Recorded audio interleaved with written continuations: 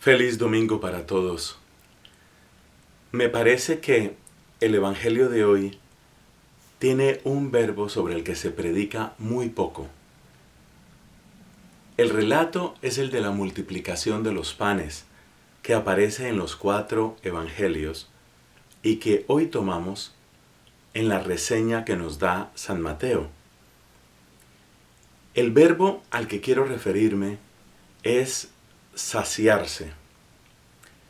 Nos dice San Mateo, comieron y se saciaron. O con otra expresión, comieron y quedaron satisfechos. Saciarse es exactamente eso, quedar satisfecho. En realidad esa palabra, satisfecho, que viene del latín, ya tiene uno de los secretos de la predicación de hoy. Satisfecho literalmente quiere decir completamente hecho, acabado.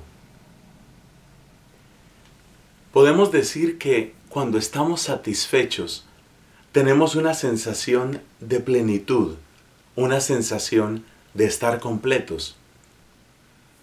Así como el hambre corresponde a una sensación de vacío, la satisfacción, el estar satisfecho, corresponde a una sensación de estar completo. Y de inmediato vemos la profundidad que tiene el texto de hoy. Cristo es el que nos trae la verdadera saciedad, el que sacia nuestros anhelos, el único que puede dejarnos verdaderamente satisfechos. Únicamente en Cristo se completan nuestros anhelos. Únicamente en Cristo alcanzamos nuestra plenitud.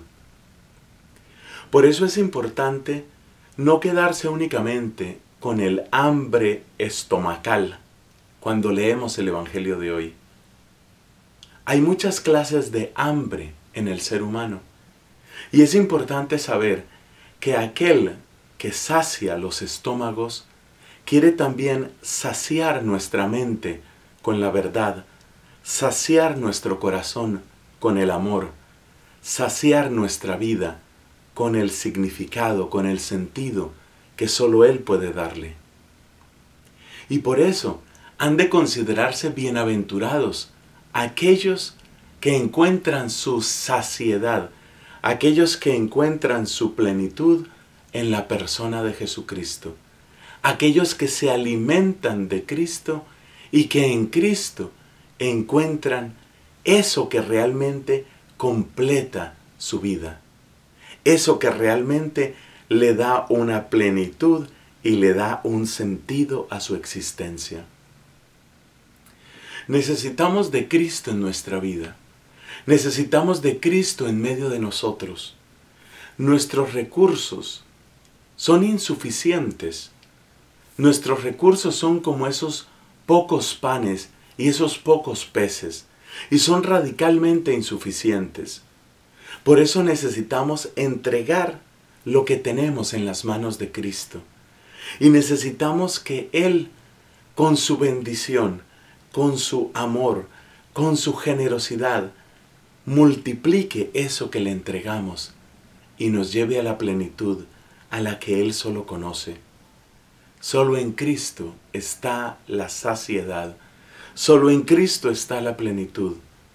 Bienaventurado el que descubre ese amor, esa verdad y ese sentido. Feliz domingo nuevamente, que Dios nos guarde, nos bendiga.